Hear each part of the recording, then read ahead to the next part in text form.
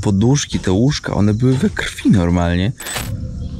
Proszę też zobaczyć na moje ręce. To nie jest dobry znak. Wiecie jaki jest naj, naj, największy śmieszek, kiedy masz przeboje żołądkowe i bardzo źle się czujesz? Kiedy masz biegunkę?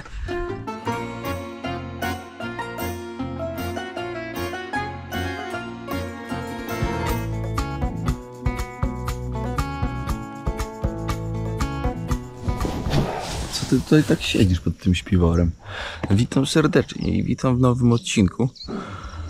Polecam zasubskrybować kanał. Ojejku, to mi przyszło najpierw do głowy po tym jak wstałem.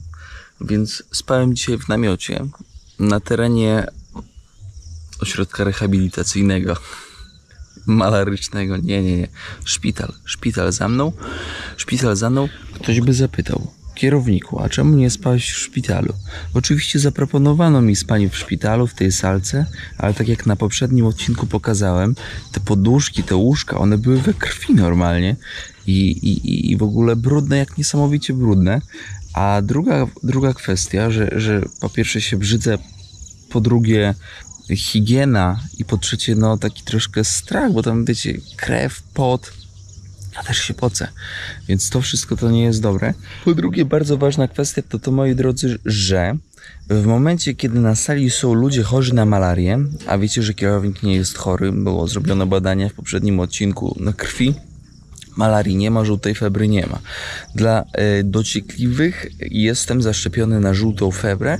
Gdybym nie był, no to nie zostałbym wpuszczony do wielu krajów w Afryce i w Azji, do których miałem okazję już zawitać. O co chodzi z tą malarią? Chodzi o to, że w momencie, kiedy masz w pokoju załóżmy dwie, trzy osoby chore na malarię, a cały czas one rotują, cały czas tutaj przyjeżdżają, to w momencie, kiedy dziagnie takiego delikwenta komar, popije sobie trochę, ten delikwent się ruszy, no i komar ucieka, no bo sobie popił, a nie może już dokończyć sobie kolacji, no to leci, leci, leci i na przykład wybierze ciebie. Jeżeli ten komar ugryzł kogoś, kto, kto ma malarię, no to z tej krwi pobrał pasożyty, no i w swoim dziobie ma pasożyty. No i dziobnie ciebie, no i przenosi do twojego krwiobiegu pasożyta. No i w najprostszy, głupi sposób jesteś chory na malarię. Czujecie to? Więc lepiej spać na odludziu, tak jak ja teraz to robię. Więc jak widzicie, lepiej spać na odludziu, nie w szpitalu. Znaczy na odludziu, w namiocie, nie w szpitalu. A tutaj mam bardzo wygodnie, no nie ma co ukrywać. Mata, śpiworek, niezależność, swoje, jak to się mówi, półtora metra kwadratowego. Dobrze, moi kochani. Czas się zbierać, czas wysuszyć śpiwór, bo jest wilgotny i złożyć mana- manatki, jechać w drogę, bo czuję się znacząco lepiej. Znacząco. Proszę też zobaczyć na moje ręce. To nie jest dobry znak. To jest znak, że moje ciało nie przyjmuje wody z jelita grubego. To też jest znak, że jest zmęczone i nie ma odpowiedniej ilości minerałów.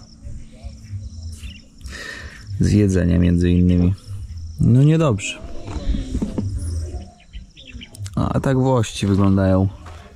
Good morning.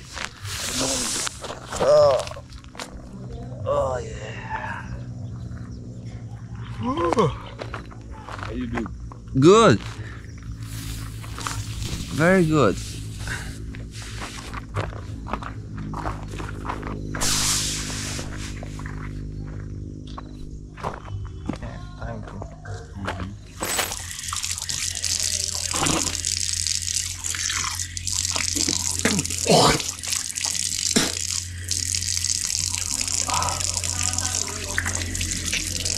Widokiem na ulicę. O do, te, o do tego, o do tego hostelu, który tam jest, tego guest house'u. Broni Boże, że mi nikt, jak przyjedzie do Liberii z Sierra, że mi nikt tam nie szedł. Nikt. Zły, złe, złe, fluidy od tego człowieka biły. Prawie kierownik pod tą wiatą z, odszedł w niepamięć. No, a teraz, moi drodzy, nic innego jak jajeczko. Jajeczko ugotowane, kupione wczoraj. Śniadanko dobre musi być na żołądek. To, co wszyscy lubimy najbardziej, czyli zdrowy kierownik i droga. Tym koleżkom po lewej stronie, jak to mówi stare podlaskie przysłowie, kij w oko Ewentualnie można powiedzieć bardziej wulgarnie. Hello! How are you? O, hello! Jeszcze raz, bo ma mamkę spotkałem, o której spaliśmy e, pierwszego dnia. O, hello! Moja kumpela, siostra przybierana z Liberii, u której spaliśmy pierwszego dnia, moi drodzy. I stare podlaskie porzekadło w tej gorszej wersji mówi hm, im w dupę. O tamtym, o, o w zielonym. I tutaj w Liberii nie jest tak, moi drodzy, że jak przychodzisz, to, to, to nie wiem, ktoś ci zaproponuje herbatkę albo szklankę wody. Nie. To jest w ogóle, jak przekraczasz kraj, to przekraczasz też kraj mentalnie.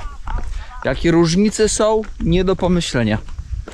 Ogromne różnice między krajami różnymi. Idę dzisiaj w tej krótszej koszulce, bo wszystkie pozostałe śmierdzą, a kultura musi być higieny. Mam złą albo dobrą wiadomość. To już w zależności jak to odbierzecie. Wiadomość jest taka, że kończymy podróż po Afryce właśnie w Liberii. Nie mogę pozwolić sobie na jechanie dalej, wiedząc, że moje ciało jest osłabione. Dlaczego?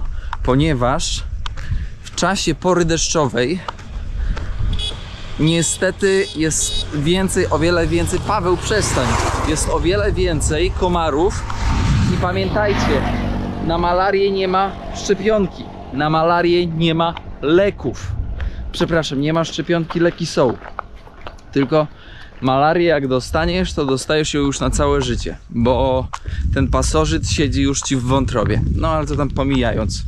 Jest kilka typów malarii, to też możecie sobie poczytać. Przeważnie jest to taka malaria, no powiedziałbym, powszechna, która, która, która nie zgładza, ale może zgładzić, jak się nie weźmie medykamentów. I, i co? I kończymy w, w Liberii.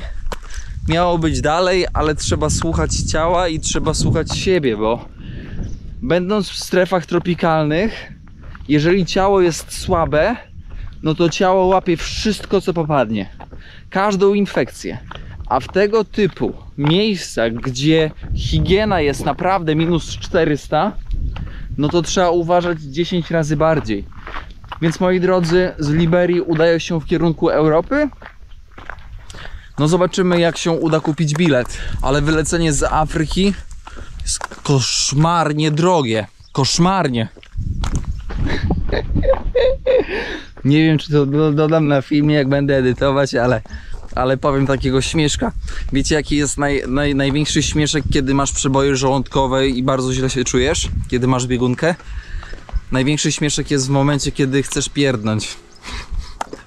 Bo nie wiesz, czy, czy wyjdzie bąk, czy wyjdzie co innego. Wiem, że to było niesmaczne, ale, ale to, jest, no, to, to jest po prostu proza życia. Proza życia. I jeszcze jako ciekawostkę, no to zgubiłem jedne majtki. Nie wiem gdzie. Nie wiem. Moi drodzy, nie wiem gdzie są moje majtki. Zgubiłem tak, zgubiłem majty i zgubiłem łyżkę. Łyżkę pewnie zostawiłem gdzieś w, w restauracji jak jadłem. No niestety. Dwie rzeczy w plecy. Kurde. Co to jest, ty? Kierowniku, nawet do- pobocze łapania stopa nie ma. Liberia! Idziesz w burz się wysikać i co widzisz? Ech, jak one się nazywają? To, to chyba wysuszyło, po prostu tak wysuszyło i mróweczki zjadły od środka. A tutaj mamy, a tutaj mamy jakąś norkę. Bardzo prawdopodobne, że węża, ale też może tam zamieszkiwać pająk jakiś. Więc, no można, nie no, w sumie jakby to był pająk tutaj, to by była sieć na zewnątrz. Ale łatwo to sprawdzić. Czy to wąż, czy to pająk? Ofiara przyszła i ofiara się rusza. Żartowałem. Tam nic nie było. Pusto. Nie świrujcie, czego się boicie. Życie to jest jedna wielka przygoda. Dobra, staję łapać. Nie będę przecież las, ale tutaj tak słabo widać. Stanę tutaj trochę dalej, żeby było widać. Ktoś jedzie, ktoś jedzie. Napierdziela ty Nissanem. Ostro ty nie, jednak tutaj nie staje, bo ich umiejętności kierowania pojazdami e, pozostawiają bardzo dużo do, do życzenia. Polubiliśmy się z tym plecakiem. 30 litrów firmy PackSafe. Naprawdę. zorganizowany. Ruch na drodze, jak do hajnówki z rana na Podlasiu. No mało aut, mało motocykli. I co najgorsze, wszyscy w tamtą, a nie w tamtą, co kierownik potrzebuje. Proza życie.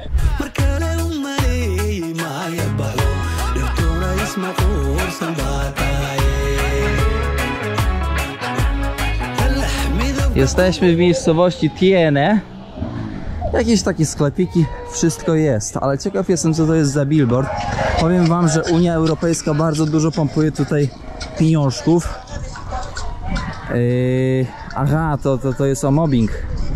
Widzicie? To jest mobbing i to nauka odnośnie tego, żeby mężczyźni zachowywali się odpowiednio w stosunku do kobiet. Bardzo ważny temat w Afryce, moi drodzy, ponieważ niestety kobiety są tutaj, powiedziałbym, zdominowane i to bardzo mocno przez aspekty kulturowe, tradycyjne, przez aspekty religijne, więc trzeba, powiedziałbym, edukować, edukować i jeszcze raz edukować. Mężczyzna to mężczyzna. No kobieta niestety tutaj to kobieta. Takiej równości nie ma. Troszkę z daleka, ale przy każdej miasteczku, mieścince, czasami wiosce są checkpointy. No i te checkpointy to są, wiecie, najgorsza sprawa w tym wszystkim. No zobaczymy jak ten pójdzie. Miejmy nadzieję, że bez większego przypału, bo naprawdę w Afryce Zachodniej oni kierownika jakoś tutaj za bardzo nie sprawdzają.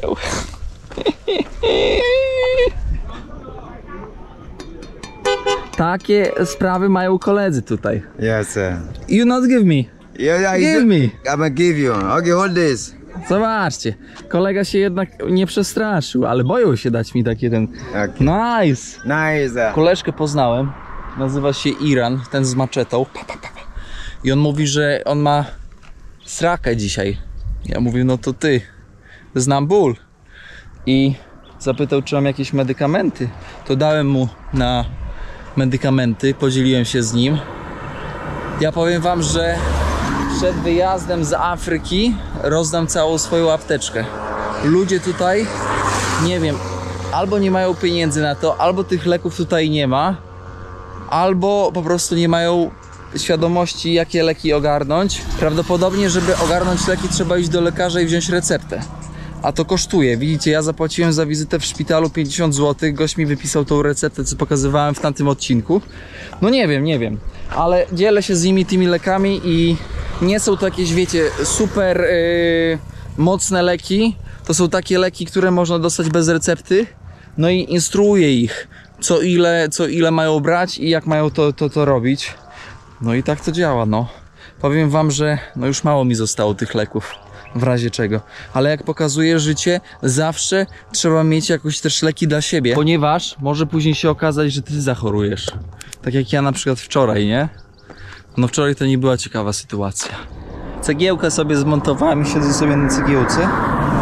Co mi się przypomniało, jak wczoraj leżałem tam w tym szpitalu, to te pielęgniarki przychodziły, jak zjadły obiad, to przychodziły i ogarniały tam pacjentów. Wyobraźcie sobie, że bekały, nie? Tak normalnie, wiecie, w, przy ludziach bekały. Dla mnie to było tak dziwne, tak e, nieszablonowe. Wie, wiecie, idzie taka pielęgniarka, która węflon właśnie wbija i wbija węflon i tak ble. Niesamowita sprawa. Jedzie gościu, jedzie taka taksówka. Nie chce mi się za bardzo takim jechać, bo to po pierwsze cztery osoby z tyłu, trzy osoby z przodu, więc przypał. Czekam na taki ewentualnie większy autobus, busik, żeby się z nimi zabrać. Zobaczymy, jak to pójdzie.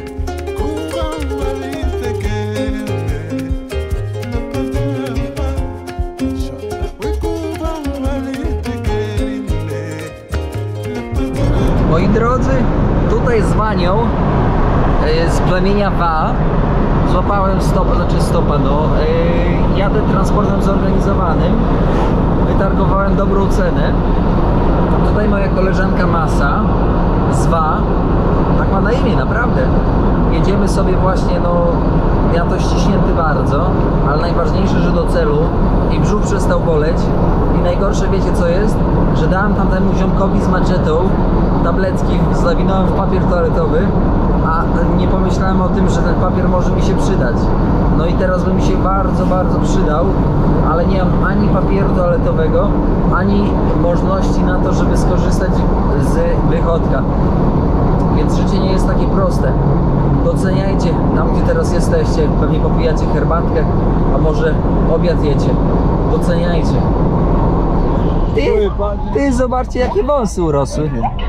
Go the. You can go to see the of cour- of course.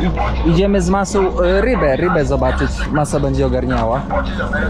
Masa ma kumpela. Ciałka to trochę ma. Ciężko siedzieć na jednym fotelu razem. Ale zobaczcie, jaka ta ryba jest. Ma jakaś taka dziwna. Nie wiem, może mamy wędkarzy. Tutaj jest solona. Tutaj jest taka większa. 1200. To, to więcej, więcej. O kurde, ile ryby. O, tutaj zobaczcie, taka jest. Nieźle. Zobaczcie, jak wygląda. Co to jest za ryba? Nie wiem. Taka szczupła. Elo, elo. La, la, la, la, la. Kurde, takiej to w Polsce nie ma. Patrzcie, jakie złote, jakie zawinięte. Ale ciekawe. A zobaczcie tutaj, jakie, jakie kawałki. Ale to dziwnie wygląda. Ja cię. Miecha, miecha. Nie zepsuje się, długo poleży, bo wędzona. Słuchajcie, jak te ryby pięknie pachną. Jak, jakie one mają cudowny zapach. Boni. Boni się nazywa ta ryba, ale piękny zapach jest na tym targowisku.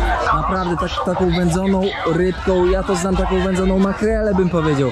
Cudowny zapach, niesamowity w ogóle, powiem wam, klimat. Tutaj ktoś owalił sobie zgryzka. Zobaczcie jak pięknie tutaj wygląda. Kurczę, jaki piękny zapach. Good morning. To jest szczupak. Za- Catfish, szczupak, słuchajcie, i za takiego szczupaka 2700, czyli prawie 50 zł za takie trzy szczupaki. Prawie 50 zł, to jest, to jest bardzo dużo na jak niższe warunki. Czujecie to? 45-50.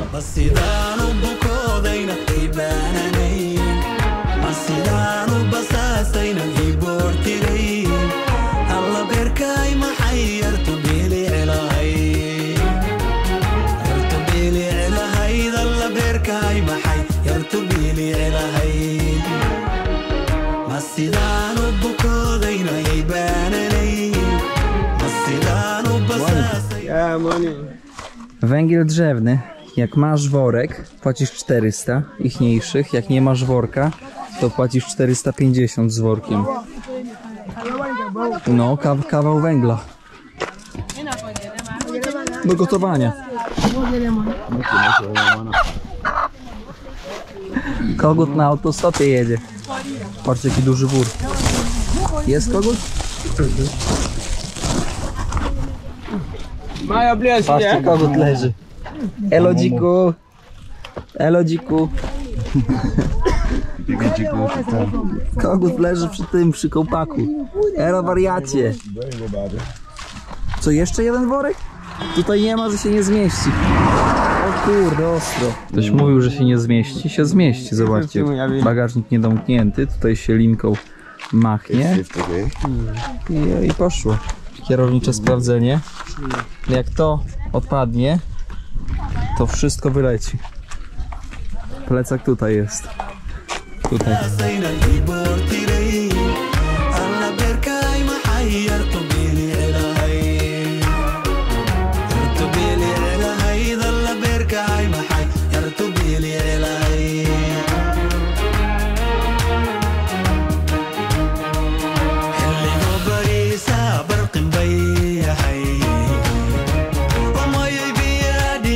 Zobaczcie, zobaczcie moi drodzy na śmieszka. Widzieliście to?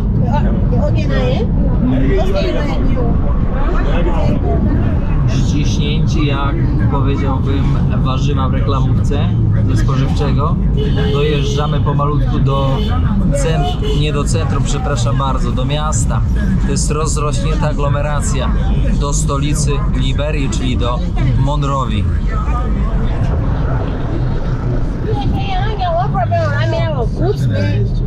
Jai sima tajin kopi an po fenni Eu hada da biyan shalu.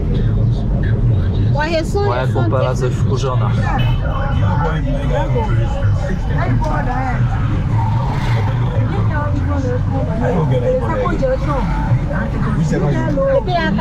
The Taliban has informed them verbally, Słuchajcie, w radiu mówią o talibanach. Talib, talibach, talibach.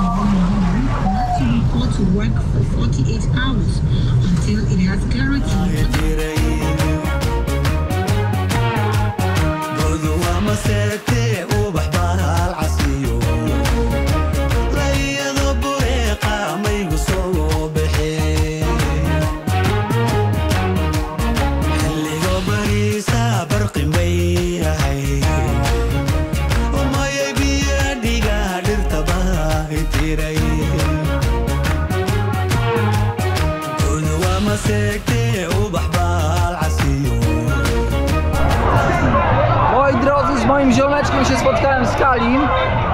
Muszę trochę na tą stronę pójść. Witam serdecznie ze stolicy, a dokładnie jeszcze z obrzeży stolicy.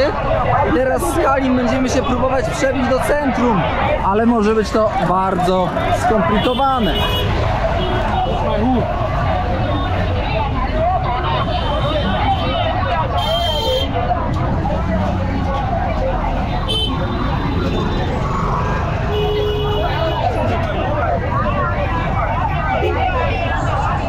O jak ciężko przejść w ogóle.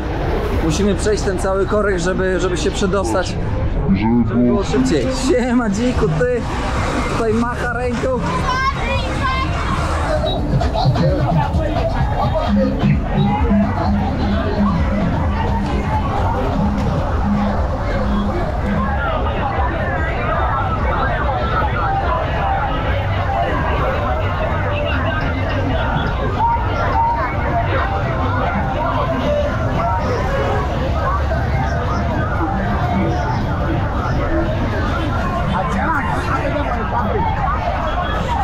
Moi drodzy, będziemy pomalutku kończyć ten odcinek.